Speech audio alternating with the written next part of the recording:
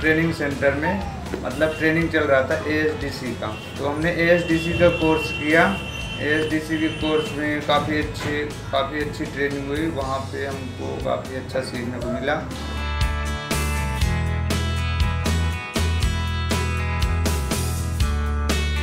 अपना मन बना लिए थे अपनी खुद का, खुद की शॉप खोलने के लिए। और हमने खुद का शॉप खोल लिया अपने एरिए में।